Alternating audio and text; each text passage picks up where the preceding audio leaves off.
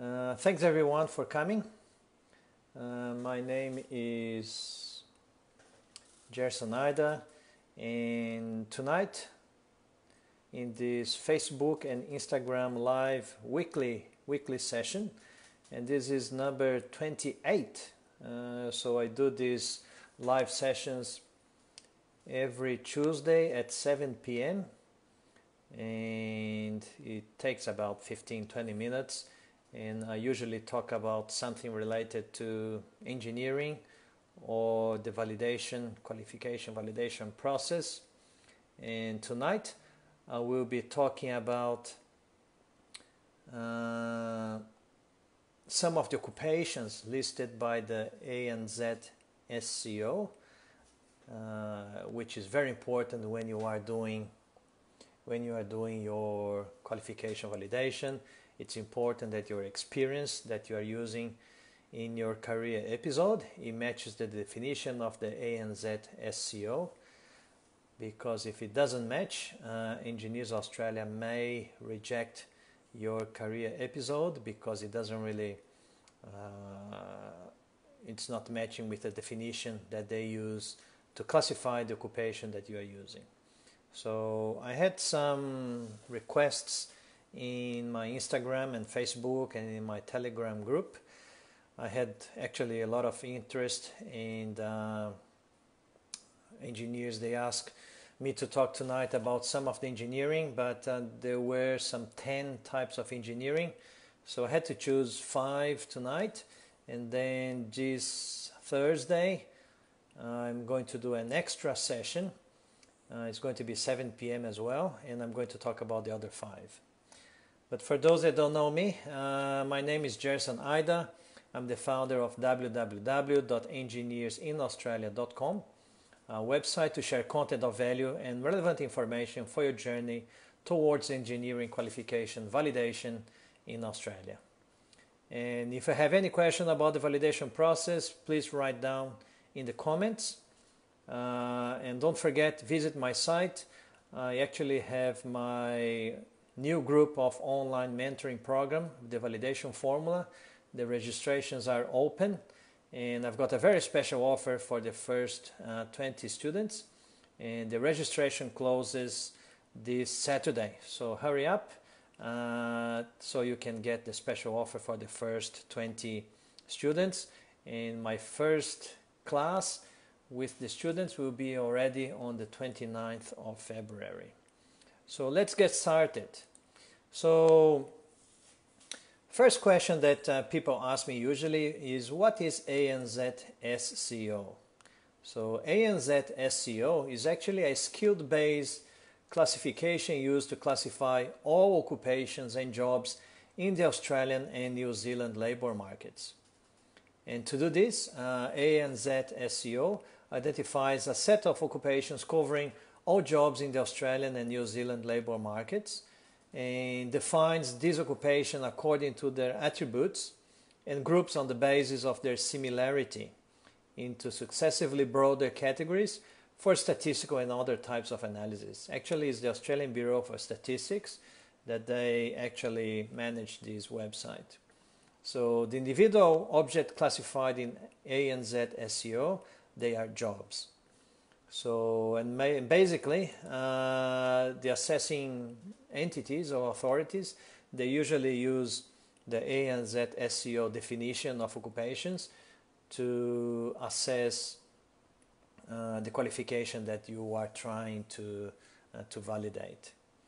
In ANZSCO, occupations are organized into progressively larger groups on the basis of their similarities in terms of both the skill level and the skill specialization.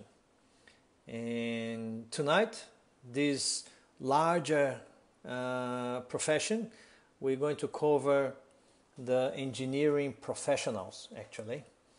Uh, and as a definition, engineering professionals, so engineer professionals are the broader category, and then breaking down the engineer professionals, they have a whole heap of uh, classifications. They've got the uh, civil engineers, they've got the chemical engineers, industrial engineers, mechanical engineers, mining engineers, Uh, sorry, when I look to the this side, I'm looking at the, my Facebook uh, page, and when I look into this side is my Instagram. So not that I'm rude, I'm just trying to to give attention to two sides.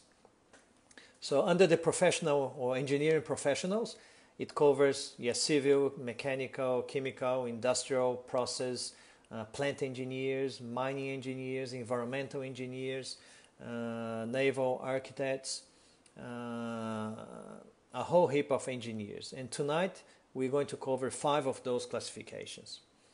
So as definition, engineering professionals, they design, plan, organize the testing, construction, installation, and maintenance of structures, machines and their components, and production systems and plants, and plant production schedules, and work procedures to ensure engineering projects are undertaken efficiently in a cost-effective uh, manner.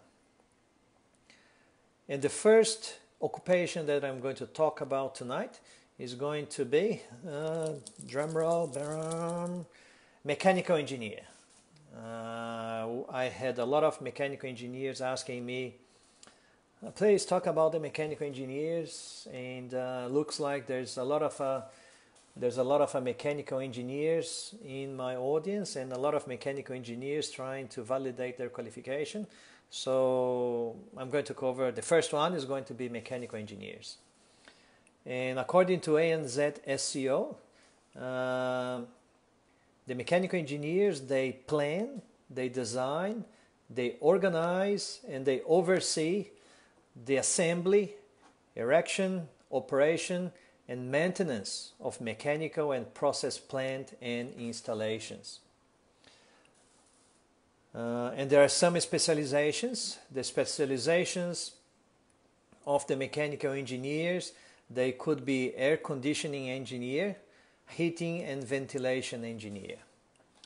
So if you are going to apply under the mechanical engineer, the ANZ SCO code for that particular occupation is going to be 233512. So 233512 is the code for mechanical engineer according to ANZ SCO. And this is the code that you will be using when you are applying to validate your qualification. Uh, you will be putting that code 233512 uh, in your application with Engineers Australia. And some of the tasks uh, that engineer, mechanical engineers, they do, it may include, so if you have this sort of experience, uh, you certainly can use in your career episodes. Uh, so some of the tasks, they may include designing mechanical equipment, machines, components, products for manufacture, and plant and systems for construction, uh, developing specifications for manufacture, and determining materials, equipment, piping, material flows, capacities, and layout of plants and systems, uh, establishing standards and policies for installation, modification, quality control, testing, inspection, and maintenance according to engineering principles and safety regulations. Uh, so these are some of the, the things that according to ANZSCO, mechanical engineers they they do. And if you have any questions, yeah, please type in the comments. And uh, if I know the answer, I'll answer. If I don't know the answer, I'll do some research and then I'll reply later on to you guys. The second uh, occupation category that I'm going to talk tonight is mining engineers. Uh, mining engineers, they plan and direct the engineering aspects of locating and extracting minerals from the earth. Uh, there is a separate category for petroleum engineers. So if you're applying for mining engineer as a mining engineer, the code is 233611.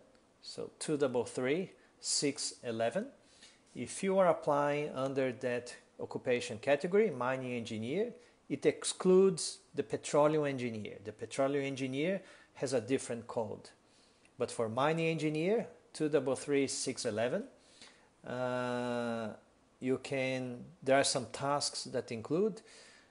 Uh, also, there is the specialization under mining engineer, which could be a process engineer. So there are the the mining engineers that they pretty much they do all the extraction, and then there is the process engineer for mining as well. And some of the tasks uh, it includes conducting preliminary surveys of minerals uh, with prospectors, geologists, geophysicists, other mineral scientists, and other engineers to determine the resources present, the feasibility of, of extracting the reserves, and the design and development of extraction process. Also the preparation or preparing operation and project cost estimates and production schedules and reporting progress, production and costs compared to budget. Also determining the most suitable methods of ore extraction, taking account of such factors as depth of overburden and attitude and physical characteristics of deposits and surrounding strata. Also preparing plans for tunnels and chambers, location and construction of mine shafts, layout of mine development, and application of appropriate mining techniques, often using computer modeling. Also assessing the natural, technical, financial, and safety risks associated with the phases of the project, of the project development, construction, and operation. Determining the safety of processes, order of extraction and safety of mine walls, evaluating the risk of slippage and advising on the prevention of slippage and rockfalls. Also the planning and coordinating of also planning and coordinating the utilization of labor and equipment consistent with efficiency targets, statutes, safety, safety guidelines, and environmental conditions. So there's a lot of things that the mining engineers they they can claim in their experiences. Uh, the third one tonight is the electrical engineers. There's a lot of electrical engineers that they are asking me to talk about electrical engineers tonight. And electrical, engineer, electrical engineers, they design, develop, and supervise the manufacture, installation, operation, and maintenance of equipment, machines, and systems for the generation, distribution, utilization, and control of electric power. And some of the tasks it can include uh, the planning and design, planning and designing power stations and power generation equipment, uh, determining the type and arrangement of circuits, transformers, circuit breakers, transmission lines, and other equipment, developing products such as electric motors, components, equipments, and appliances, interpreting specifications, drawings, standards, and regulations relating to electric power equipment, and using, uh, organizing, and managing resources using the supply of electrical components, machines, appliances, and equipment, establishing delivery and installation schedules for machines, uh, switch gear, cables, and fittings, supervising the operation and maintenance of power stations, transmission and distribution systems, and industrial plants, designing and installing control and signaling equipment for road, rail, and air traffic, and may specialize in research in areas such as power generation and transmission systems, transformers, uh, switch gear, and electrical motors, telemetry, and control systems. And electrical engineers also they can be specialized in electrical design engineer, a railway signaling engineer, and signaling and communications engineer. And the fourth one uh, that we're going to be talking tonight is the environmental engineer. And for the environmental engineers, the code according to ANZSCO is 233915 for environmental engineer. And environmental engineers, they assess the impact on air, water, soil, and noise levels in the vicinity of engineering projects, plans and design equipments and processes for the treatment and safe disposal of waste material and assesses what may cause problems for the environment in the long term. So again, the environmental engineers 233 915. And the fifth one tonight is the chemical engineer. And the chemical engineer, the code is 233 111. So 233 uh, triple 11, uh, sorry, triple one, 233 triple one. And for the chemical engineers, they design and prepare specifications for chemical process systems and the construction and operation of commercial scale chemical plants, and they supervise industrial processing and fabrication of products undergoing physical and chemical changes. And some of the tasks uh, it could include preparing designs for chemical process systems and planning control systems for processes, such as those used to remove and separate components, effect chemical changes, test and evaluate fuels, transfer heat, and control the storing and handling of solids, liquids, and gases. They also can be doing the monitoring, the operation, and maintenance of equipment to achieve maximum efficiency under safe operation conditions. Uh, diagnosing malfunctions in chemical plants and instituting remedial actions. So tonight we spoke about the chemical engineers. We talk about what environmental engineers they do. We also talk about what electrical engineers they do. Uh, we talk about what mining engineers they do. And also we talk about what uh, the mechanical engineers they do. Uh, in my list, I also still have, uh, just a second, I also have in my list uh, that I'm going to talk about next Thursday. So this coming Thursday, 7 p.m. on Facebook and Instagram live session, I'm going to do an extra live session. And I'm going to talk about the civil engineer. I'm going to talk about the electronic engineer and automation engineer and about the industrial and production engineer. So there are a few other engineers that um, people ask me to talk about, and I would like to just make sure that uh, you guys. Uh, so if you guys have any, what sort of engineer are you? So type in the comments what engineer are you. So if it's not covered in uh, in here, I will certainly try to cover that. So please uh, type in. I'm just going to write here engineers in Australia dot com.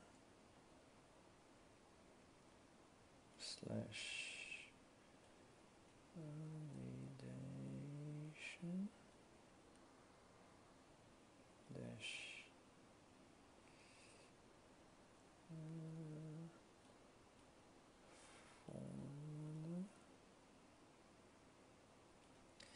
and here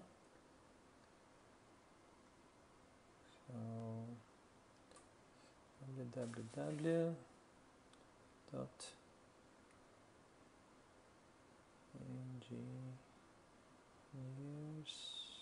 in Australia dot com slash so what sort of engineers are you guys? Um, slash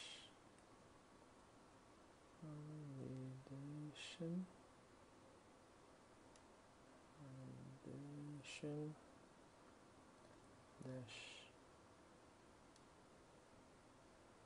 Formula. Yeah, so I just put in the comments uh, in Facebook and Instagram the website, my website, so you can have a look at my next mentoring program. As I mentioned before, uh, the registrations are open for the uh, next group of my online mentoring validation formula.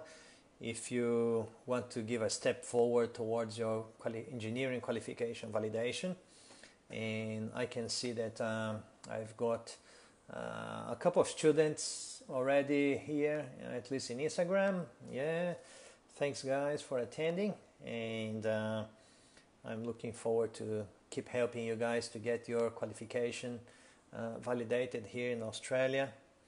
So next Thursday at 7 p.m. Uh, at the same time, I will be talking about then other engineering professions. I'm going to be talking about the civil engineer, uh, electronic engineer, industrial and production engineer, and uh, automation engineer. So if you are an engineer that I didn't mention and I didn't cover tonight, please type in the comments and I will try to, to cover that one there. So just for those ones joining now, I talk about the mechanical engineer, the mining engineer, uh, the electrical engineer, the environmental engineer, and uh, uh, what was the last one? Uh, the chemical engineer. So these were the engineers that I spoke tonight.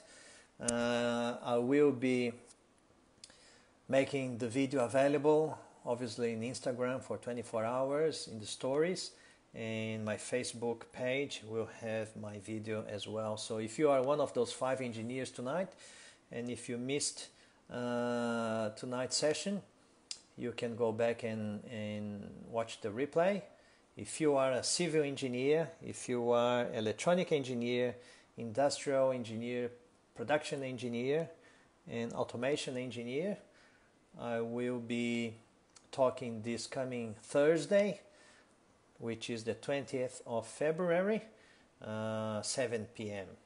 So, yeah, Daniel, Daniel, Mauricio, he's a civil engineer. He's typing in Facebook.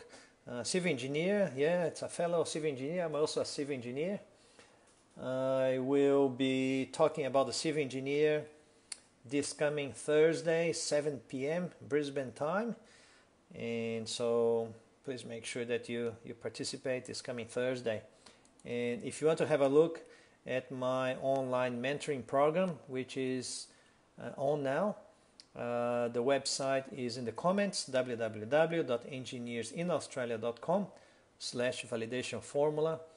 It's an online mentoring program that I help and I teach engineers how to better prepare your CDR uh, to make your journey a little bit easier towards your qualification validation, which can lead to your life transformation.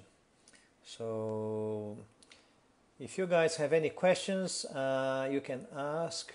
If not, uh, we'll be finishing for tonight, and then I will see you this coming Thursday. And don't forget the registrations for my online mentoring program. They close this Saturday. So Saturday I'm closing the registrations because the classes they're going to start already uh, on the 29th of February.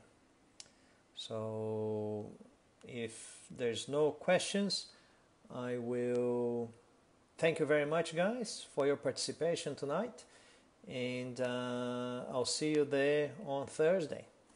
See ya and bye bye.